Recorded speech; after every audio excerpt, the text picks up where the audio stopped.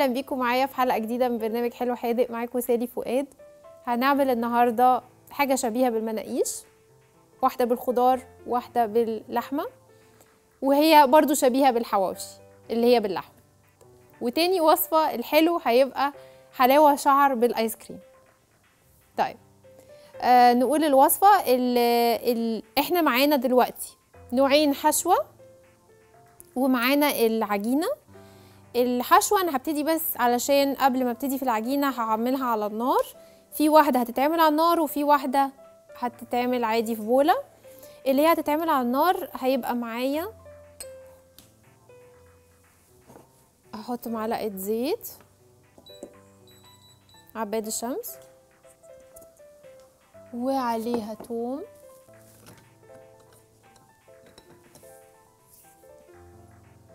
معلقه توم حلوة كده كبيرة. معانا كمان البتنجان هيبقى بديل للحمة. يعني مش هنستخدم اللحمة في دي في الخلطة دي خالص. علشان اللي عندهم مشكلة مثلا نقرس أو أملاح عالية أو كده أنا عموما في وصفاتي بحاول أقلل قوي من اللحوم يعني لو يبقى لحمة مفرومة حاجة بسيطة بس بحاول أقلل قوي من اللحوم علشان يعني مش نحاول نجيب بدايل بدل اللحوم. تبقى حاجة صحية أكتر. كده وهحط كمان معاهم بيبقى حلو قوي مع البتنجان طبعا الصلصة والطماطم المجففة بتدي تسكيره جميلة ومزازة حلوة قوي.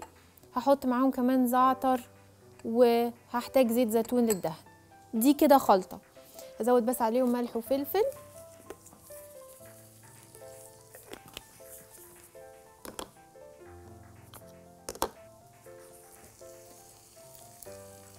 الخلطة التانية بقى هتبقى عبارة عن اللحمة المفرومة ربع كيلو لحمة مفرومة خالية الدسم يعني فعلا نشتريها خالية الدسم تماما. علشان دي لا هتبقى كفتة ولا أي حاجة مش هنحتاج فيها دسم. هاخدها كده. وهحط معاها بصلة مبشورة. ناعم. أو خشن مش لازم ناعم أوي. هحط معاها كمان شوية barbecue sauce بتدي نكهة حلوة جدا. ومختلفة. هت... هتخلي طعم اللحمة فعلا مختلف. هحط عليها ملح وفلفل.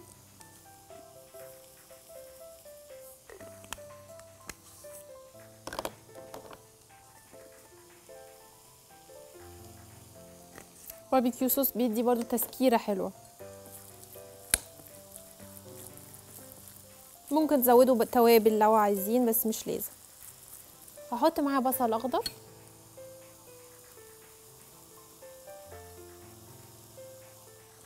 وأحط معاها فلفل ألوان. كده زودت كمان فيتامين سي مضادات أكسدة حلوة جدا. وألوان. شيل ده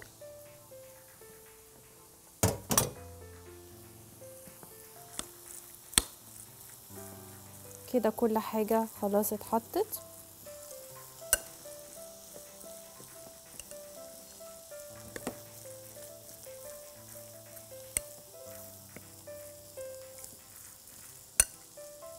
خلاص كده. واشوف هنا الأخبار.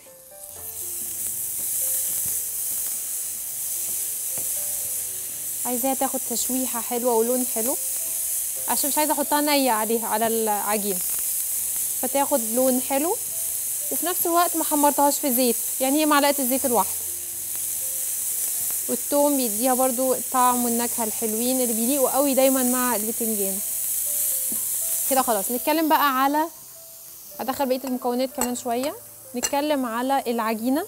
العجينة معايا نص كيلو دقيق أبيض مخلوط بأسمر. معايا ربع يعني ربع لتر آه لبن خالي الدسم دافي. معلقتين كبار لبن بودرة. معلقة كبيرة خميرة فورية. معلقة كبيرة عسل أبيض بيضة. وزيت زيتون حوالي 3 معالق كبار أو آه، ربع كوباية.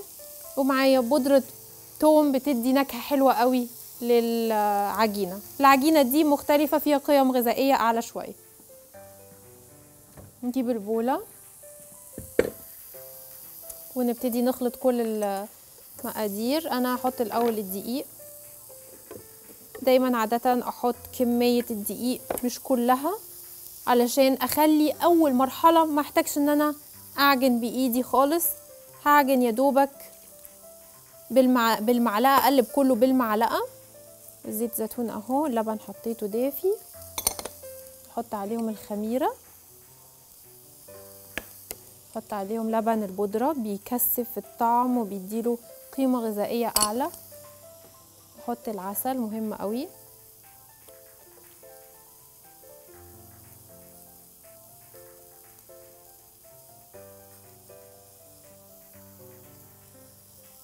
ونحط أقلب بقى دلوقتي. الملح مش هحطه في المرحلة دي خالص هحط بس شوية بودرة الثوم ممكن يتحطوا من دلوقتي.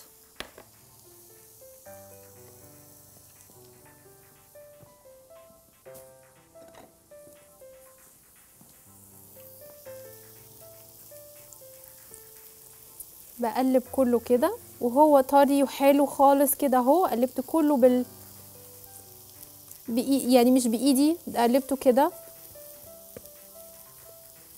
هغطيه بقى واسيبه. ما حطيتش الملح دلوقتي احطه بقى في المرحلة التانية. بسيبه وبيبقى طري بالشكل ده. بينفخ أحلى كتير. لما بيبقى مازال طري كده ودافي محطوط في مكان دافي ومش محطوط له الملح. طيب آخد بقى اللي هو اللي جاهز معايا. خمران خلاص. يتغطى طبعا أحسن بحاجة نايلون بتساعد قوي نقلب بس اللي هنا. وإحنا ما حطيناش البيضة. أحسن. البيضة تتحط في النص التاني علشان البيض لو قعد ساعة في مكان دافي بره عرضة إنه يخسر. فالأحسن إن هو يتحط في المرحلة اللي هي التانية دي اللي أنا احطها دلوقتي.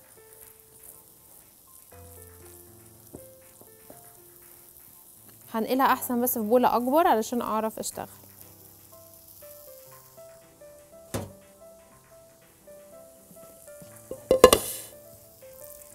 كده يبقى ضمنا إن البيضة ما تعرضتش لحرارة وابتدت تعمل بكتيريا.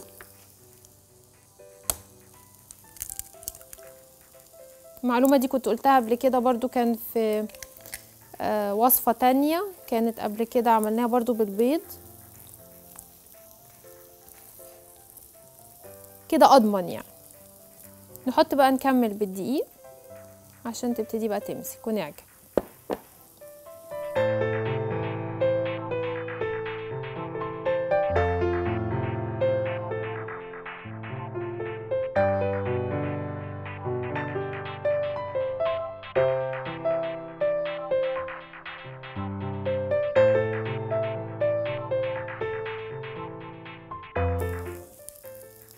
كده أنا خدت نص الكمية وزودت معاها الدقيق لغاية ما تبقى متماسكة.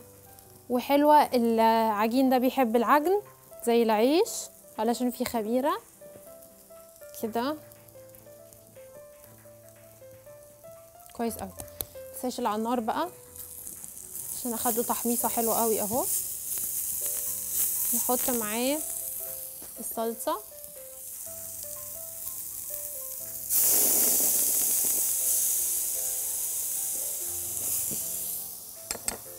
نحط معاه الطماطم المجففة ونحط معاه زعتر ونحط برضو شوية بودرة ثوم اختيارية دي مش لازم. واللي عايز على فكرة ممكن يحط برضو فيها شوية باربيكيو صوص هتدي طعم التدخينة معاه. جميل. شيلها بقى كده على جنب. هي لسه هتستوي كده كده في الفرن. حلو كده مش عايزاها زي ما بيقولوا صيصة قوي يعني علشان تبقى متماسكة معايا على العجين. فمش هسيلها قوي. كويس كده خلاص. نشيل بقى الحاجات دي.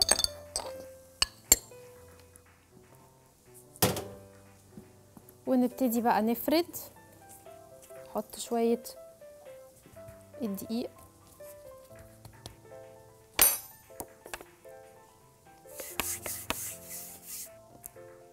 زي ما قلت دي نص العجينة يعني لسه معانا النص التاني.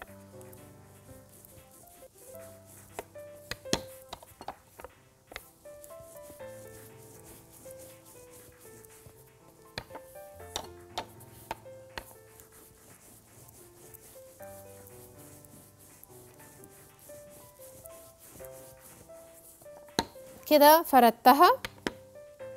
هجيب بس الصينية اللي هحتاجها علشان أجهز عليها أحط شوية دقيق عشان الحاجة ما تلزقش. كده. وأجيب قطاعة مدورة. نحاول بقى كله جنب بعض. أنا عملتها رفيعة مش عايزاها كلها تبقى عجين عيش كتير.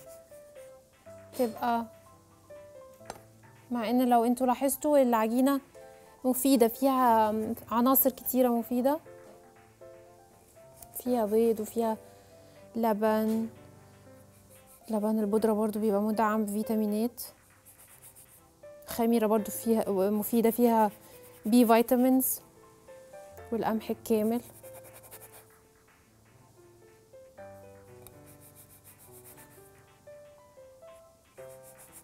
القمح كمان على فكرة فيه بروتين.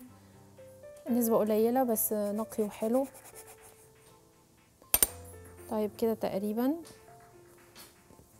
هبتدي بقى أحشي على كل واحدة الخلطة اللي عندنا. يعني مثلا أنا عندي دول هحشي عليهم خلطة اللحمة. وابتدي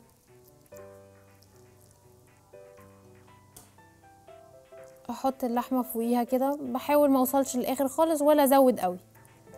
الحبة دول كويسين قوي.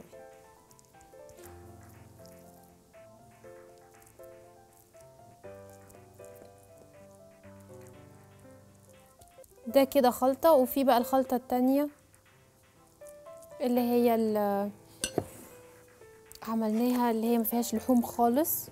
معلقة.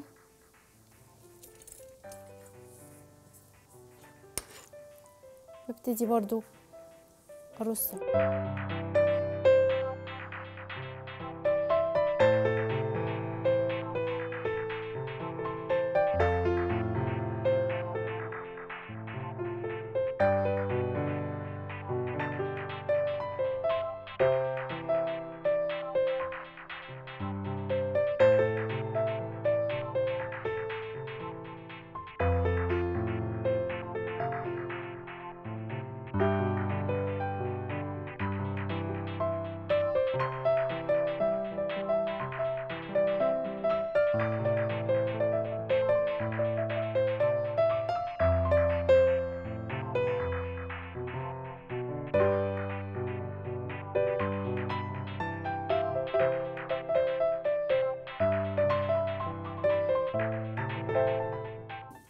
خلاص كده كلهم على الصينية دخلهم الفرن. هدخلهم الفرن على مية وتسعين أو ميتين لمدة تلت ساعة تقريبا.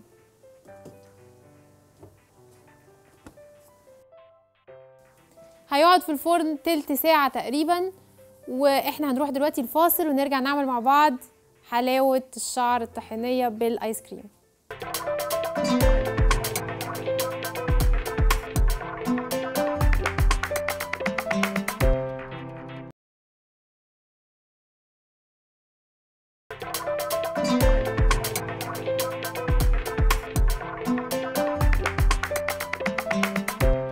رجعنا تاني ونشوف اللي في الفرن أخباره إيه.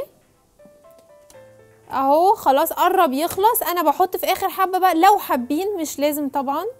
نحط على مش اللحمة بقى على اللي هي اللي فيها البتنجان شوية جبنة صغيرين شوية جبنة جودة أو شوية آه، جبنة موتزاريلا اللي تحبوه. واحطه عليها كده. ليه بقى في آخر حبة؟ عشان أنا مش بحب الجبنة تنشف معايا من الأول فبحطها في آخر حبة يبقوا تراي كده من فوق. دي بس اختيارية مش لازم الجبنة زي ما قلت. ممكن يتقدموا كده. أو لو مش هنقدمها بالجبنة نقلل الصلصة شوية عشان متبقاش صلصتها كتيرة. هنعمل دلوقتي حلو لذيذ جدا وفعلا بسيط قوي لأنه مش محتاج حاجات صعبة. اللي هحتاجه فيه حلاوة طحينية شعر ومعايا آه، فستق وآيس كريم هطلعه دلوقتي.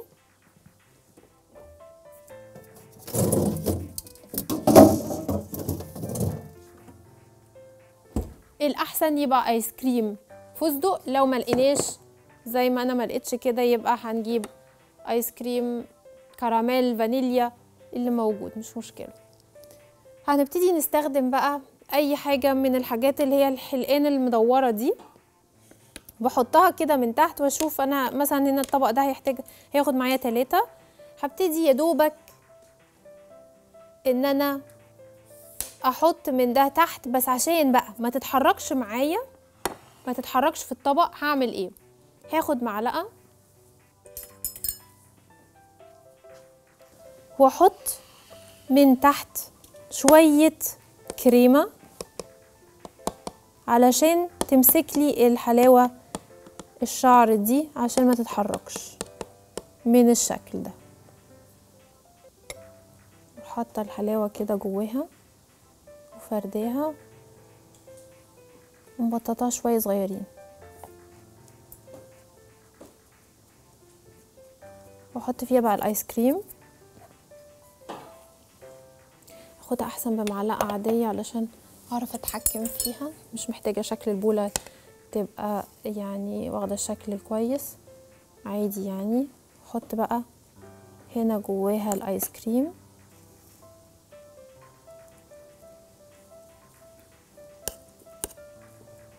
بالشكل ده وهروح عاملة ممكن كمان طبقة تانية. منزلة شوية من الفستق علشان تعمل لي طبقة حلوة باينة من جوه. ما تبقاش كلها بيضة عشان أنا كنت عايزة الآيس كريم يبقى فستق يبقى لون باين. لكن بما إن ما فيش يبقى إحنا نحطه كده. والتاني طبقة من ده من فوق واضغط شوية.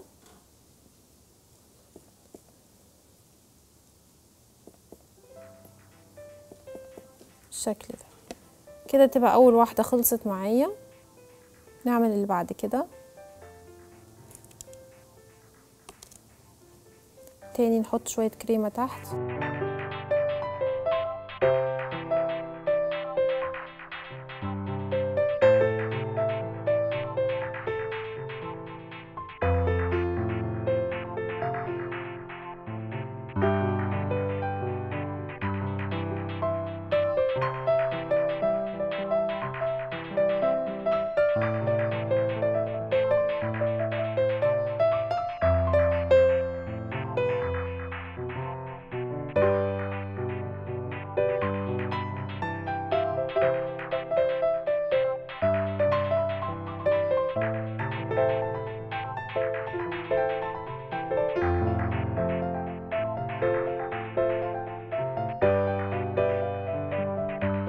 بكده دي خلاص كده. إحنا يا دوبك آه، كل اللي ممكن نعمله ممكن نحط برضو بسيط من الكراميل عليها.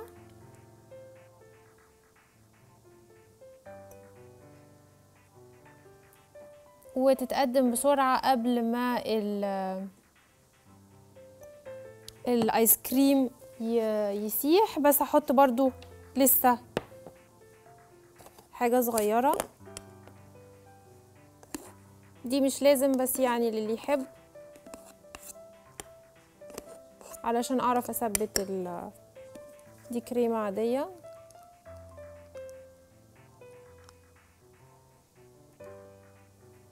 وأحط عليها شوية من الفستق.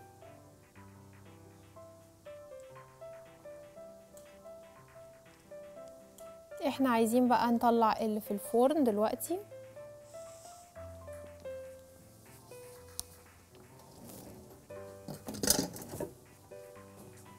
خلاص أخدوا لون حلو جدا. أخدوا لون حلو بزيادة. في العادة لازم أسرح في الشغل شوية وبعدين إيه أقدمهم بقى على الطبق ده.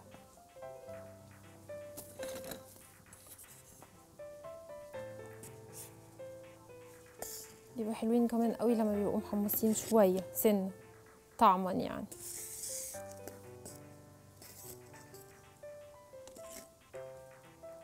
واحدة كده وواحده كده. واحد